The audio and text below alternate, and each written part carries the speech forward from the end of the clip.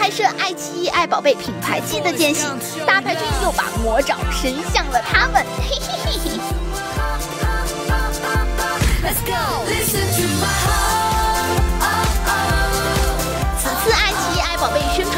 拍摄，采用了超级有创意的定格动画，躺着表演的独特拍摄方式让三小只倍感兴趣。不仅没有了普通拍摄时 NG 无数遍的痛苦和要站一整天的巨大体力消耗，而且还能让三小只在拍摄时忙里偷闲。哎呦喂，怎一个舒服了得啊！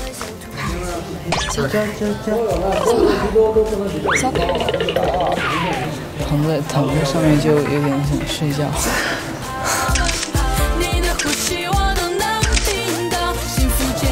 为什么今天的拍摄又可以休息，又可以完成工作？看看这么努力的小小少年，也难怪会得到这么多亲妈粉、阿姨粉、姐姐粉的喜爱和支持啦！善良仁爱的三小只真是蛮拼的。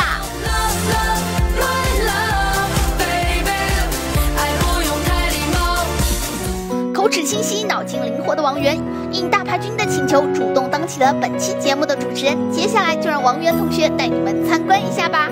准备好了吗？好，三二一，走！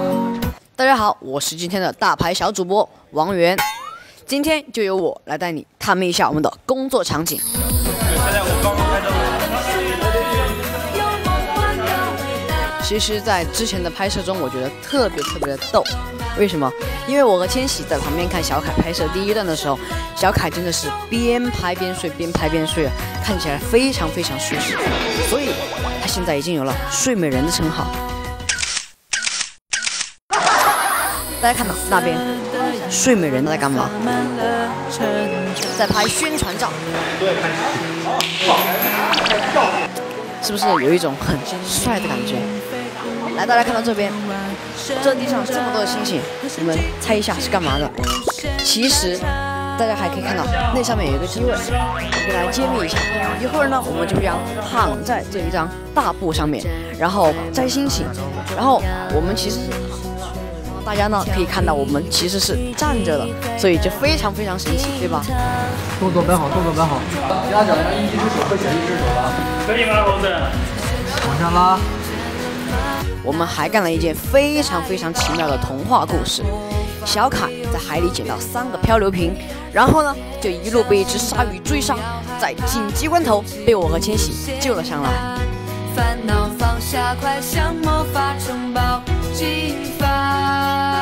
大家看这边，千玺正在拍宣传照，他正在做可爱的表情。但是呢，我们要留给大家一个悬念：千玺可爱表情到底什么样的呢？走，我们不看他了，我们去探访一下小凯。小凯，我想问一下，在今天拍摄中有没有什么很逗的事情？上午在拍的时候躺着都可以拍，然后边躺边睡着了。你觉得你那几个睡美人的姿势是怎么摆出来的？什么睡美人？就是你。睡美人姿势，我不知道你在说什么，要不然你给我摆一下。OK，那我看完这个。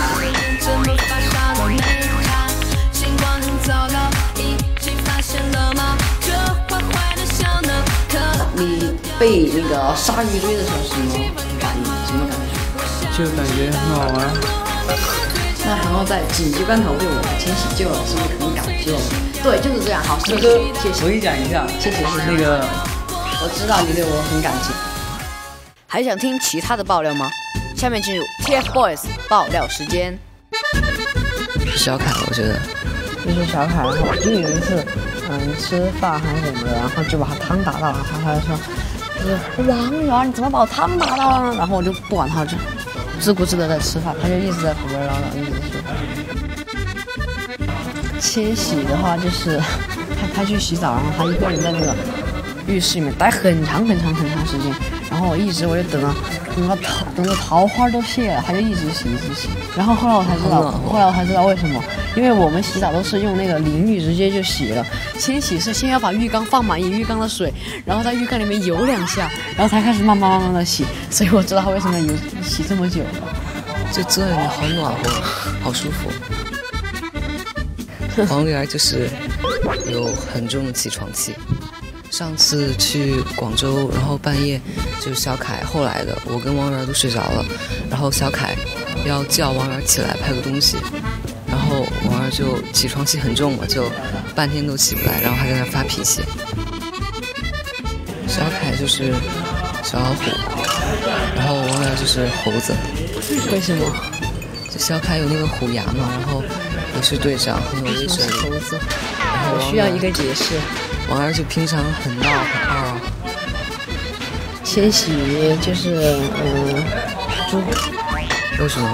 因为因为那个猪就很懒嘛，然后就吃了睡了睡了吃，然后千玺平时说话也很少，就是这样，就这样瘫着，所以很像猪。嗯，王俊凯呀，嗯，老虎，就是有时候管的有点凶。如果是私下的话，他不管怎么发威，我们都是不理他的。然后比如说真真正是舞台上面或者有演出的时候，他一般都不会发威，就是直接讲道理，然后我们都会很听。来，三二一，来！有人说，有人说。青春、阳光、三观正，是粉丝们给这三上少年最契合的标签。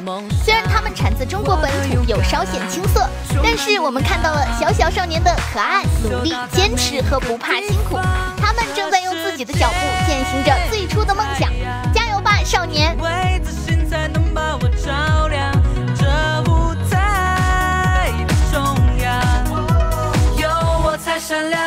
有我才能发着光。跟着我左手右手一个慢动作右手左手慢